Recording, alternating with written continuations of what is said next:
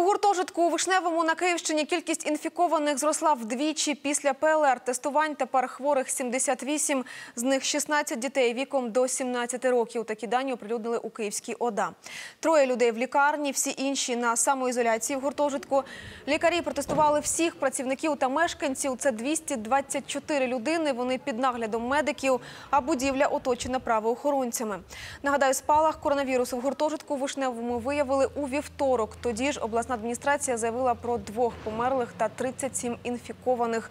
Згодом з'ясувалося, мешканці почали хворіти ще перед Великоднем, та місцева влада вчасно не відреагувала.